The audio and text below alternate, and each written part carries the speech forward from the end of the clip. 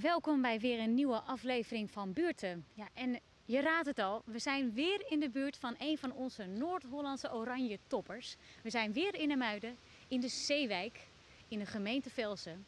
En de speler over wie ik het heb, is begonnen bij VV Muiden en speelt inmiddels al 13 jaar bij Ajax. Ja, en ik heb het natuurlijk over onze Joël Veldman. En ik mag zeggen onze, want ik kom hier zelf natuurlijk ook vandaan. En eigenlijk waar wij nu staan, op dit veldje is het allemaal begonnen.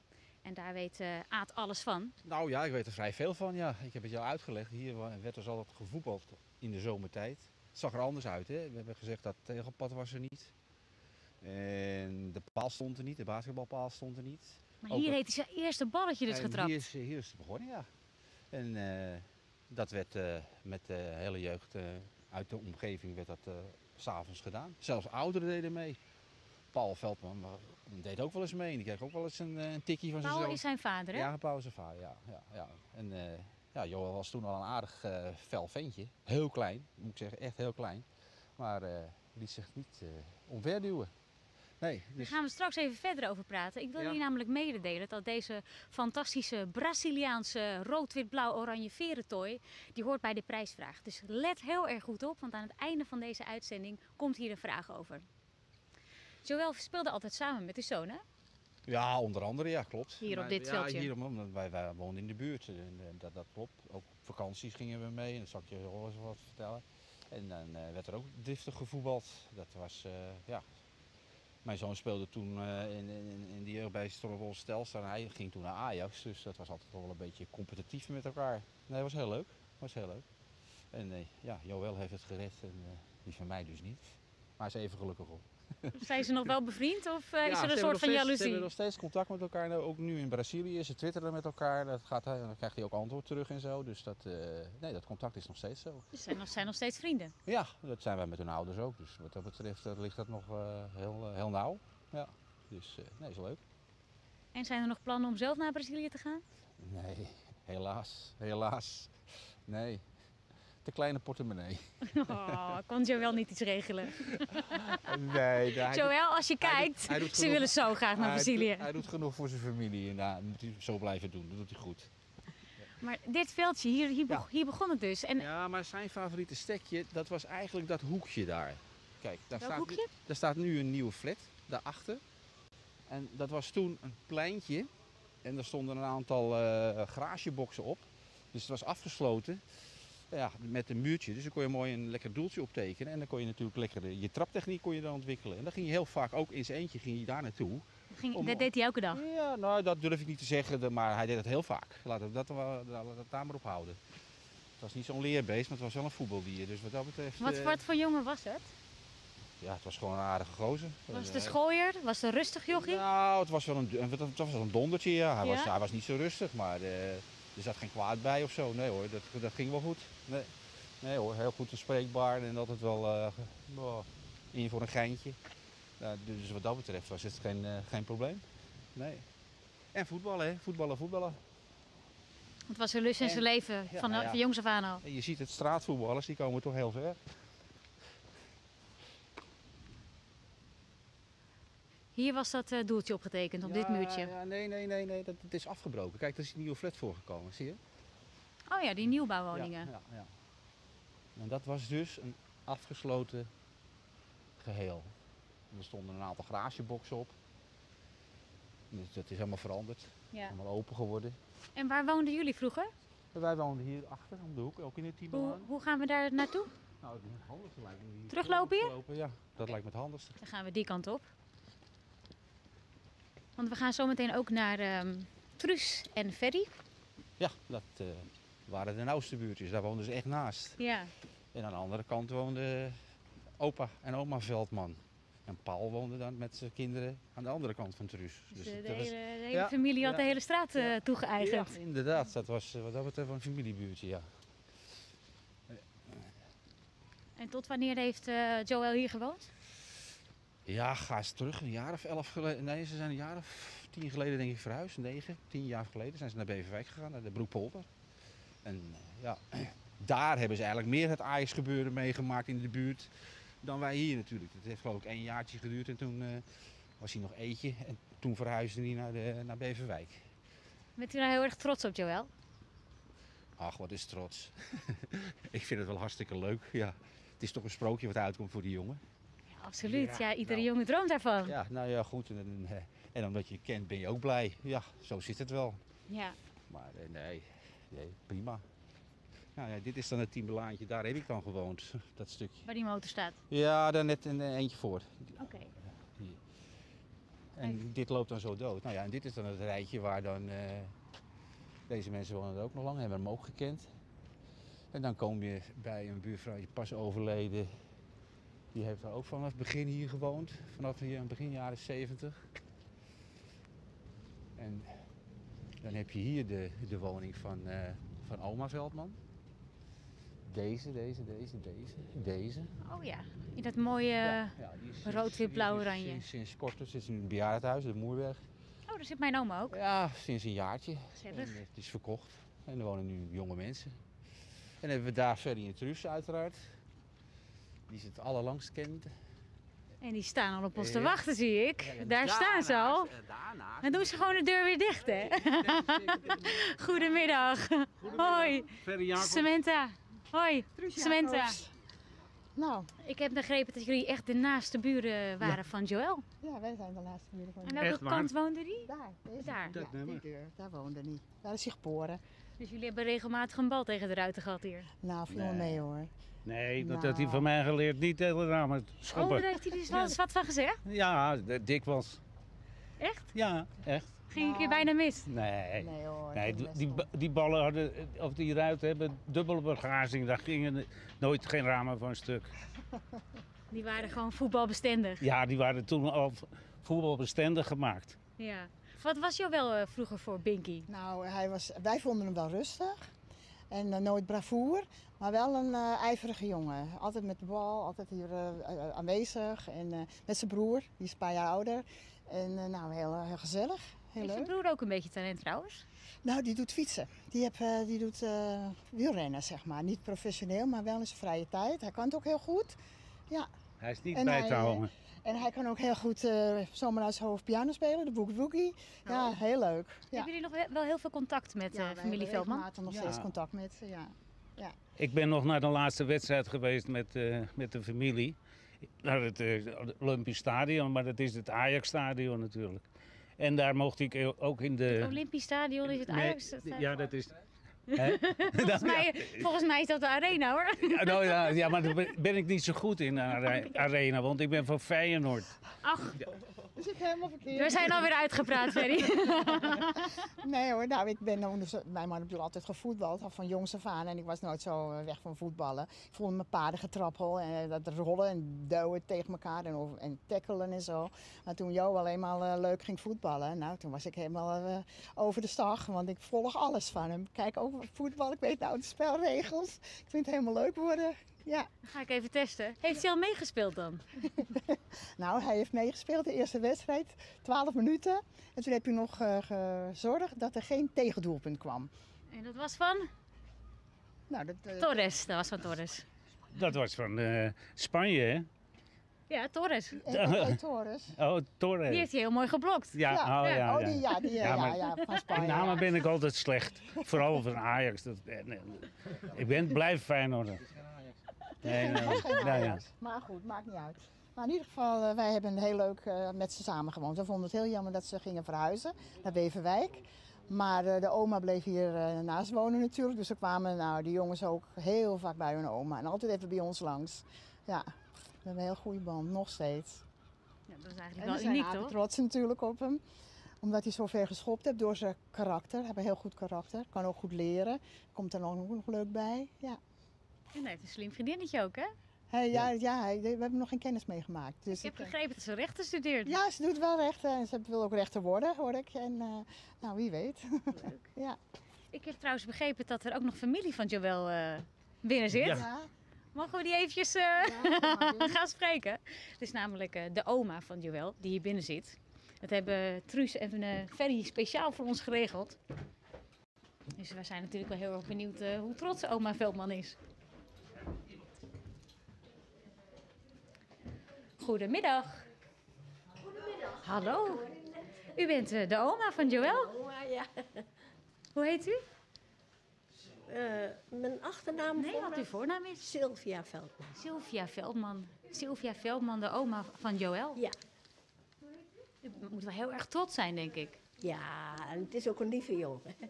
Ik volg ook alles eh, als, een, eh, ja, als een wedstrijden. En ik weet altijd waar die zit. Ja. U weet altijd waar die zit. Ja. Vertel. Nou ja, ik bedoel zoals hij nou in Brazilië zit. En, eh, Ja. ja. dat weet ik allemaal. En heeft u dan ook contact met Joël vanuit eh, Brazilië? Eh, nee, wel met zijn vader. Oké, want zijn vader zit er ook. Zit er ook. Zijn vader en zijn moeder ook. Ja. En zijn broer ook? En zijn broer ook, ja. ja. Maar wilt hij dan niet stiekem ook mee naar Brazilië? Nou, ik zou wel willen, maar dat is voor mij niet meer mogelijk. Nee, dat durft hij niet meer aan. nee, dat kan ik niet meer. Wat jammer zeg. Ja, jammer hè. Je zit wel elke wedstrijd lekker voor de buis gekluisterd. Oh ja, ik weet er alles van. ik ben helemaal op de hoogte. Waar is Joël vooral heel erg goed in? Wat is zijn specialiteit? Heeft u een beetje verstand van Help voetbal? Scobie, help me. Kobe je moet, Kobe je moet helpen. Ik ga er nou even naar Kobe toe. Kobe is namelijk... eh, De tante, De tante. van Joël. Ja, wat is de specialiteit van Joël? ik denk verdedigen, want hij is verdediger. ja, hé, dat is wel heel makkelijk. Hij, nou, wat ik dan lees, want ik heb helemaal geen verstand van voetballen, is dat hij met zijn hoofd, dat hij probeert technisch te voetballen. En niet zomaar wat eh, te doen. Maar ja, ik heb er geen verstand van. Verwachten jullie dat hij nog meer speelminuten krijgt van- eh Louis van Gaal? Ik hoop het voor hem. Zou leuk zijn. Dan moeten ze gewoon nog een keertje 5-3-2 gaan spelen. Dan komt het wel Ja, goed. ja, en ik begreep ook dat hij in mocht vallen omdat er al twee gele kaarten aan de verdediging waren uitgedeeld. Waardoor het risico van een man eruit te groot werd. Ja. Dus ja, als eh, de collega's het niet goed doen, dan maakt hij een kans. Dus ik weet, ik, nou ja, nogmaals, ik weet het niet. Ik heb er geen verstand van. Nee. Dat hebben de meesten niet verstand. Ook Van Gaal heeft niet verstand. Het, voetbal bestaat uit veel geluk. Weet wat u zegt, hè? Ja, ik weet wat ik zeg. Ik weet wat ik zeg, want ik ben net Jan De- eh, Johan Derksen. Ja, Die- ook die een snor. Ook, ook altijd negatief. Dus, maar ik denk, mocht hij zoveel geluk hebben als gisteren, dan worden ze wereldkampioen. Maar anders zou ik het niet weten. Al heb ik tot mijn 65 jaar gevoetbald. Dus Oh ja? ik moet het toch wel zoveel weten. gevoetbald? Ja, ja, en ook eh, behoorlijk hoog. Alleen dat de top heb ik nooit bereikt. Maar bij Feyenoord dus, uw favoriete clubje. Nee, die club die is, was in 1953 kampioen van Nederland in de RCH. Dat is heel lang geleden. Dat is heel lang geleden. Ja, maar de jaren zijn gaan tellen hoor, nu. Dus stiekem heeft hij Joël ook wel eens tips gegeven. ja, en ik zeg, ik heb, hem verteld, als de wedstrijd afgelopen is en je hebt verloren, dan weten ze net zo lang pra- te praten dat ze die wedstrijd toch gewonnen hebben. Echt waar? Ja, echt waar. Dat, vraag het maar aan Joël Veldman. hij stond te kijken en toen begon hij te lachen, ja. Dus ja, het, het is nou eenmaal zo. Het is altijd, ja maar, ik kon er niks aan doen. Nee, ja. Of die bal die ging net naast. En had hij eh, eh, een beetje naar rechts gegaan, was het een goal geweest. En volgen jullie nou ook alles wat Joël doet? Ja, Ik, ik zeker. ja. Maar mijn vrouw helemaal. Oh want, ja? want mocht hij op de tv komen, dan zeg ik, Joël is op de tv. En dan is alles, gooit ze neer en eh, dan moet ze het zien. Maar anders hebben ze geen tijd. Voor andere dingen. Ja, wel hoor. Wel waar. Maar goed, het valt van mee. Maar ik ben wel nu zo eh me erin gaan verdiepen dat ik echt heel de spelregels in mijn hoofd heb zitten. Dat ik precies zie of iets goed of niet goed doet. U wilt geen stomme opmerkingen meer maken.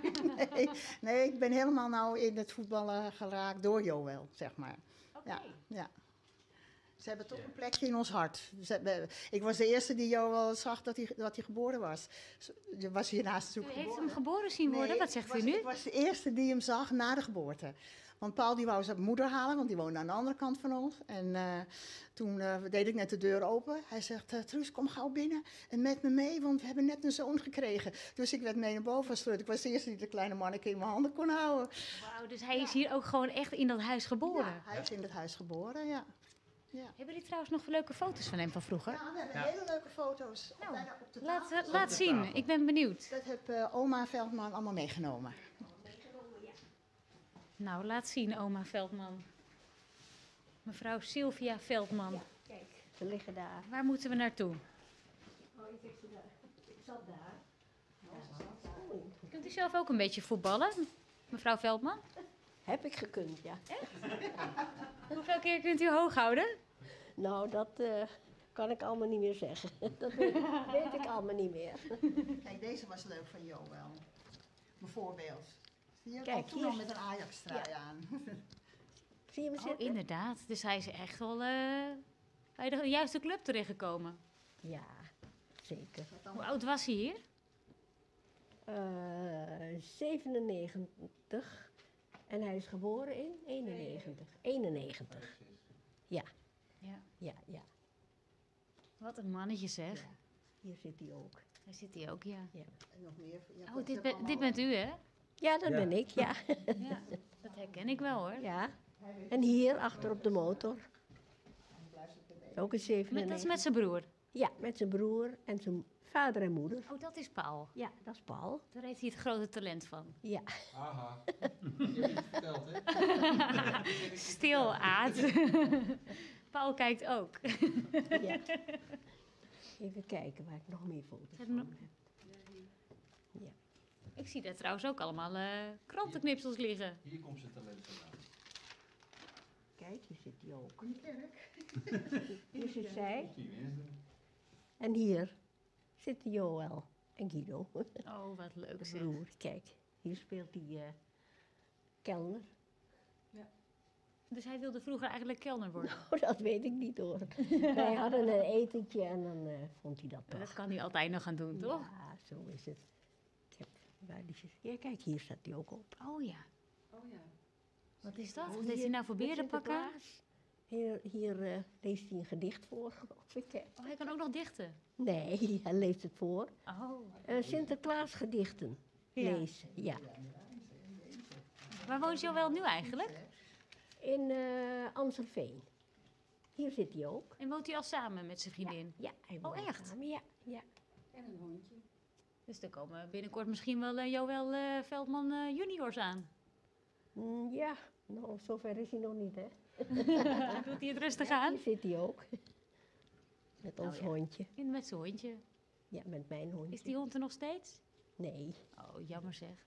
En hier, kijk, hier zit uh, Joël. Ik loop even uit, hoor. Hier heb je zijn talent vandaan. Zie je dat? Hij moet een kaarsje opsteken en een wens doen. Dat is in een, dat is in een kerk. Dit is juist. Nee, dit is op vakantie in eh, Bretagne. Daar waren we toen. En kijk, je ziet het al met zijn eh Ajax outfit. Had hij dag en nacht aan. Toen zijn trainingspak. Kijk, helemaal goed. Nee, en eh, hadden ze ook het spelletje op de camping op een gegeven moment. Die hebben we gisteravond Robin van Persie en eh, hoe heet het, Robin bezig gezien. Bij de warming-up. Dat ze dat balletje naar elkaar toe... eh, Ja, ja. nou, deze jongens deden dat ook iedere dag. En dan gingen ze dan tellen hoe, ver, hoe vaak. En eh, uiteindelijk werd dat gehoord 368 keer. En ze deden het anders dan Van Persie en, eh en Robben. Want die hielden hem op een borst en dan weer even... Kom even Zij- aan de andere kant staan, deden- hoor. Eén moment. Zij deden dat spelletje gewoon tegenover elkaar staan en één keer de bal raken. Dus heb heen en weer. En uiteindelijk 368 keer. Nou, dat was een hummeltje van, nou je ziet het. Ja. En die van mij was dan een kopje groter, maar eh, anderhalf jaar ouder. Nou, dat was Maar het is begonnen met een kaarsje. dat was, eh, dat, nee, nou, ik denk gewoon, eh, ik denk gewoon dat hij hier stiekem dacht van, eh, lieve god, ik eh, wil een goede voetballer worden. Is hij gelovig dan? Want Ik- VVM Muiden is natuurlijk wel een zaterdagclub. Ja, nou ja, goed, dat is wel zo. En, spelen eh, op zondag zitten vroeger niet wel in. naar de kerk, dat weet ik wel. Maar of ze nu nog gelovig zijn, dat moet eh, oma Veldman wel weten. Gereformeerd gezin. Een gereformeerd gezin. Dus dan mag je niet op zondag voetballen. Nee, dat deden we. Nee, het was geen gewoonte, nee. Ja, nee, dan kom je al snel bij ja. VVM Muiden terecht. Ja, nou ja, mogen, zo streng waren we ook weer niet hoor. Nee, precies. Maar dat deden we gewoon niet. Nee. Ik zie er ook nog allemaal krantjes liggen. Ja. Ja.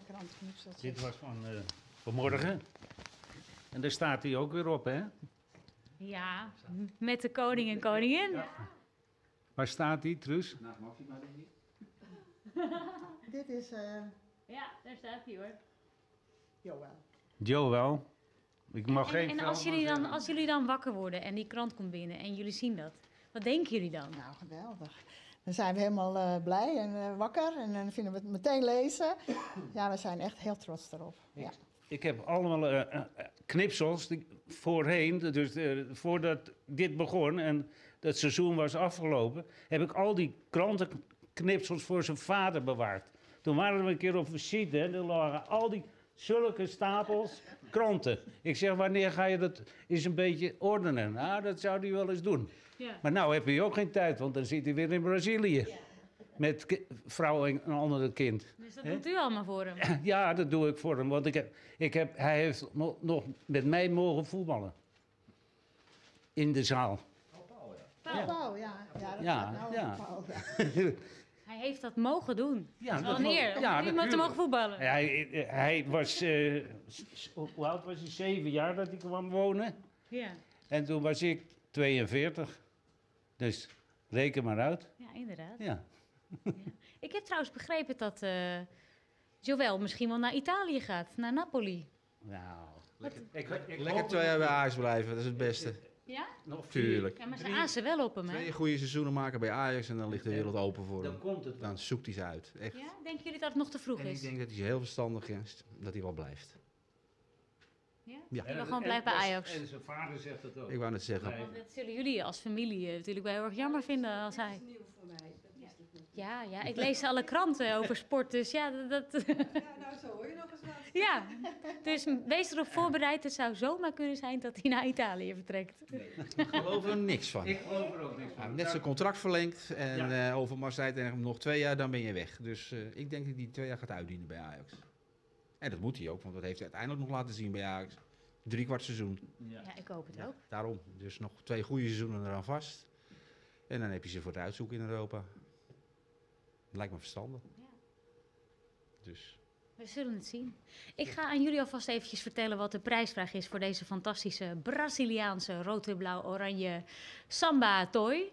De prijsvraag is: hoe lang speelt Joël Veldman nu al bij Ajax? Weet jij het goede antwoord? Stuur dan een mailtje naar buurten.rtvnh.nl.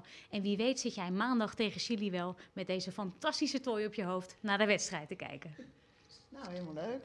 Ja? Ja? Bedankt, ja, helemaal leuk. En we zijn nog niet klaar hoor. Oh, zijn we nog niet klaar? ik denk nou, het is afgelopen. Nou, verder weet ik niks. Waar kijken jullie de wedstrijd?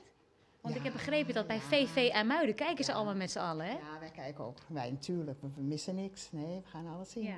Maar bij zijn oude clubje is het één groot feest, heb ik begrepen. Ja, ook. Ze hebben ze steeds... eh, Groot scherm. Ja, ja, een groot scherm, ja. Moeten jullie daar niet lekker bij zitten dan? Nee, we blijven maar hier in huis. Ja? Het is ons clubje niet, hè? nou, mijne wel hoor. ik ben helemaal voor Ajax geworden. Ik was voor niks hoor, maar nu ben ik Ajax ziet. Ook niet van RCA was ze. Nee, ik, ik Waar ik toen- niet van voetballen. Ik hield echt niet van voetballen. Maar eh, door Joël ben ik helemaal eh, leuk. Ik vind het helemaal leuk. Misschien ook wel dat ik wat ouder word, vind ik het nog leuker.